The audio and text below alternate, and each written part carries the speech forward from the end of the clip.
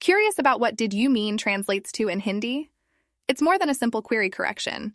It's a dive into culture and emotional nuance. Discover the phrase's deeper meaning, its role in Indian society, and get practical tips for using it right.